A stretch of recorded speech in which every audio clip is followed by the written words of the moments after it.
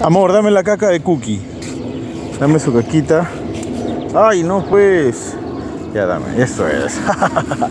Mientras voy a seguir leyendo otros poemitas de Un país feliz, un país feliz, Lima Veneca, mi nueva producción. Ahí están los perritos. El buen vecino. Cookie, déjame recitar mi poema, mi poema. El buen vecino. Señor Dios mío. Ah, caramba. Señor Dios mío, examina a mi vecino, sondéale las entrañas, el bolsillo, el alma. Siémbrale obstáculos, siémbrale mi venganza. Dame vida, oh Señor mío, mucha vida, o la suficiente como para ver a mi vecino hundido en la misma mierda que es mi peña refugio y eterno sonrojo. ¿Qué es vivir? ¿Qué es vivir? Me preguntas. Vivir es emborracharse y armar alboroto los días de paga.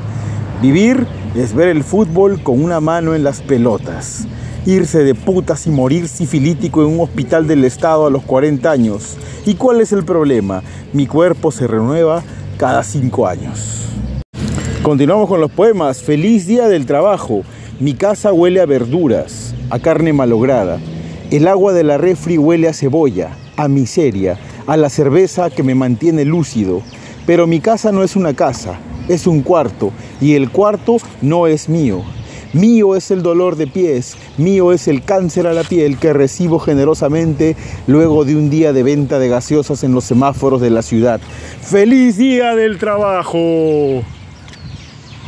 Ahí está, la gente me mira como un loco. Crédito aprobado.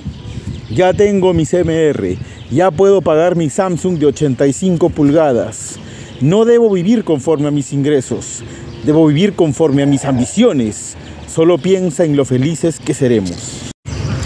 Un último poemita para cerrar esta noche poética en el Parque César Vallejo.